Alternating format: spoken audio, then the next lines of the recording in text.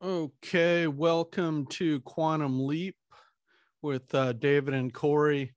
Um, actually, is not going to be joining today, but I have a special edition of the show today that I wanted to go over, which is actually um, checking out the first module from my master class on actually what a quantum leap is. So how to how to set up your quantum leap and um, you know we'll, we'll we'll get into it. I'll explain a little bit more about the master class.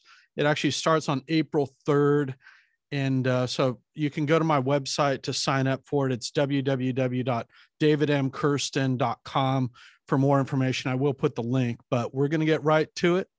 Um, so this is actually the actual module number one of 12 modules about what is your quantum leap? And the name of the show is quantum leap and uh, this module is on that. So i think it's some some really good stuff here. And uh, you don't need to be enrolled in the program to get a lot out of this. And uh, you know i'll first begin by saying this is a quantum leap for your personal transformation. Now um, you know maybe if you're in business or you're part of an organization you start talking about quantum leap um, some of those people might want to fr- might freak out even though you know somebody like elon musk would totally get it. So uh, i'll just say that um, there's nothing controversial about improving yourself. It's kind of what you do with that that can be controversial you know i'm a big fan of hip hop if you know all the a lot of the rappers talk about a lot of their barriers on on their um, you know way to succeed. So i think there's um, but we're not we're not going to get into that just a quick anecdote.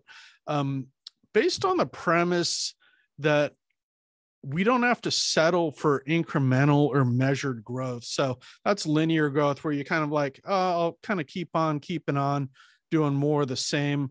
It's really about exponential growth, about going from down here to up here, leaping to a higher orbit. And it's uh, best outlined and described by Price Pritchett um, in this short but legendary handbook called You Squared. I read that regularly, especially every time I look at making a quantum leap. And, you know, there's not only one quantum leap, once you kind of believe in it, you can do it all over the place. I mean, look at somebody like Elon Musk. You might not, not like his politics or him owning Twitter, but I don't think anybody disputes his business savvy with all those companies and, you know, really the quantum leap that he created in the, the electric car business, the space industry, and a lot of other things. And, um, anyway, another anecdote. I'm a big believer in kind of reading biographies and looking at the quantum leaps that others have made, like Steve Jobs or um, you know, in politics or sports, you know, Muhammad Ali, Mike Tyson, you know, these folks were all kind of down here and then they jumped up here. And how, how did they do it? What was their thinking? And that's what kind of this is based on. So fred wolf described it as the explosive jump that a particle of matter undergoes in moving from one place to another in a figurative sense um, means taking a risk going off into uncharted territory with no guide, to follow. So um, there's a great passage actually in the beginning of this book called uh, where it's a true story. Um, the author of this book was, I'm just going to read this. I'm sitting in a quiet room at the Millcroft Inn, a peaceful little place hidden back among the pine trees about an hour out of Toronto. It's just past noon, late July, and I'm listening to the desperate sounds of a life or death struggle going on a few feet away. There's a small fly burning out the last of its short life's energies in a futile attempt to fly through the glass of the window pane. The winding wings tell the poignant story of the fly's strategy try harder, but it's not working.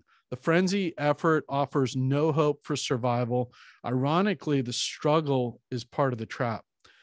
It is impossible for the fly to try hard enough to succeed at breaking through the glass. Nevertheless, this little insect has staked its life on reaching its goal through raw effort and determination. This fly is doomed. It will die there on the windowsill. Across the room, 10 steps away, the door is open, 10 seconds of flying time, and this small creature could reach the outside world it seeks. With only a fraction of the effort that's now been wasted, it could be free of this self imposed trap. The breakthrough possibility is there. It would be so easy. Why doesn't the fly try another approach, something dramatically different? how did it get so locked in on the idea that this particular routine, a determined effort, offers the, the most promise for success? What logic is there in continuing until death to seek a breakthrough with more of the same? No doubt this approach makes sense to the fly. Regrettably, it's an idea that will kill. Try trying harder isn't necessarily the solution to achieving more, it may not offer any real promise for getting what you want out of life. Sometimes, in fact, it's a big part of the problem. If you stake your hopes for a breakthrough on trying harder than ever, you may kill your chances for success. Price Pritchett, the author of that book, You Squared. And um, let me just take a second here. So I think this is such a good analogy of what a quantum leap is that really more of the same won't get you there. So you have to look at uh, find the door, um, so to speak. And here's just a quick look at the table of contents. I just encourage you, even if you don't take the master class, check out this book because um, there's so much amazing kind of concepts and just the quick summary of this book. It's only 36 pages long, but it has a lot of good things. I'll just a couple of the highlights. This is really unconventional you know that's why you see only you know 1% of the population actually becomes rich so to speak because they do unconventional things. Um, and you know think beyond what common sense would allow. So a lot of this is a little bit counterintuitive and it can be laced with fear and uncomfortability especially in the beginning. And to really actually create a quantum leap that's what the master class is designed to do but it takes a lot of other things to do the quantum leap to get the tools to make the quantum leap. So um, i'm not going to go over the whole table of contents pick up that handbook. I do want to give you some tips to reveal your quantum leap because really this module module number one and the first step is actually revealing your quantum leap and the thing is when you start talking about quantum leap a lot of people are just not even in the position to even think like that that's like whoa whoa whoa there's no way i can get there you know just similar to the four minute mile before the four minute mile was run you know that's completely impossible.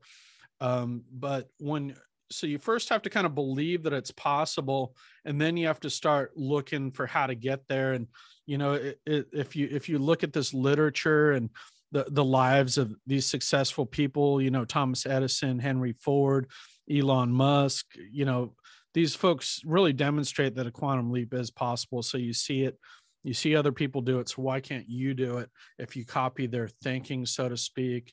Um, so it's really a, a, north star to guide your journey for success when you find out what your quantum leap is. And uh, you know, so that this first module is really dedicated to getting you thinking about your quantum leap, what that might be, and putting you really on the path to starting to achieve that. So a big thing is it must be a worthy goal. A lot of people just set the bar too low. Um, if you know, I'm just going to get by but you actually got to be able to get excited about what it is. So it should be a major overarching or goal for your life that encompasses what you want out of life and business. Don't settle for getting by. Just um, go go after what you really want. Otherwise, you're not going to have the determination to get you there. And um, that alone in itself is is such a powerful concept once you come to understand that. So this is another counterintuitive point. It should be something that you do not know all how to obtain. This runs counter to the conventional wisdom. So if you already know how to do it, um, then that's not a quantum leap. Uh, I know Bob Proctor, uh, one of the purveyors of some of these concepts, he recently passed away, said a man told him, Well, I want to get a brand new Cadillac because my old Cadillac's old, you know. So um, you already know how to do that. That's not a, a reach goal. This should be kind of a reach goal. So, another critical thing is develop the faith that you will accomplish your goal no matter how much doubt you may have at times erase this from your time from your mind.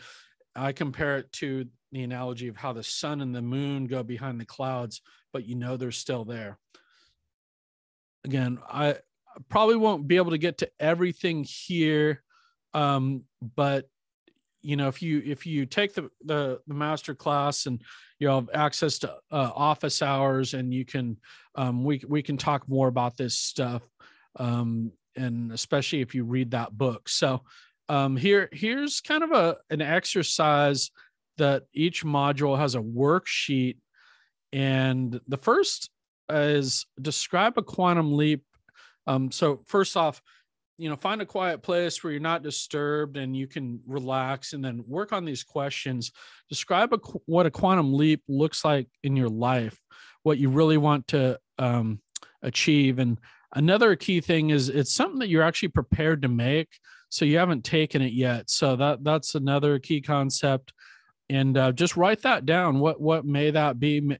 I you know this program is really a business program so this is something to do with you know business profession. It might be a, a vocation you know like uh maybe you're a um, an organizer a nonprofit director. So it doesn't have to be kind of for profit but it's a, a goal. Um, then then describe what is holding you back from taking this quantum leap what would it feel number three is what would it feel like to achieve this quantum leap so you actually have to envision what this looks like. And I admit in the beginning, you there's this blockages, all these limiting things that are that you placed on yourself that have been preventing you from taking this leap.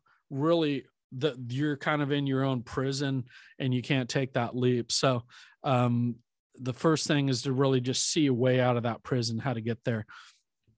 Um, number four, write down three or more action steps that you can take this week, this month to set up your quantum leap and begin acting on them today. And some folks, quantum leap might take 10, 20 years, might take a lifetime. You may never get there. But once you start moving towards that quantum leap, you know, it starts with action. I think that's a big thing about this program and something that really changed in my life is the action component that you have to start taking action right away and you have to keep in action. You have to keep in motion. So, um, a few closing notes here. Um, choosing your quantum leap is key to the whole program. And this module is really connected to a number of the other modules in the program, which I'll describe a bit more, particularly goal setting. Um, you know, go, the, this quantum leap is kind of a, a vision, but there's also some other pieces that um, kind of complete this puzzle. And this can often take some time initially, like I mentioned, just the the fact of opening up that there is a possibility of a quantum leap can kind of you might not be able to sit down right now and write that but once you get started you know the kind of horse leaves the barn so to speak and then you can kind of uh at some point maybe a light bulb will go on your head that maybe I do have a quantum leap in me. Maybe there is something I can do. So um, the other modules that are connected to this that'll really help with this are purpose, goals, vision. Um, don't let the perfect be the enemy of good of the good. Essentially, this is a dream that you're going to make a reality. And um, you know, you can email me if you're interested in learning more about this uh, master class, and I will put the links there. Um, I don't think there's anything else I want to say about it except for uh, sign up now this is the first iteration. It's really a, a bargain deal for the value you're going to get out of it at 495. And I really look forward to sharing a lot more about the program and the successes that people have from taking this uh, six week master class. Uh, which is designed to generate your quantum leap. So, uh, David Kersten, uh, wrapping up this edition of Quantum Leap, we're actually going to come up with a second segment here at 11:30, where Cory is going to join. He's in another um, engagement and uh, we'll we'll look forward to seeing you then. Thanks for uh, joining us.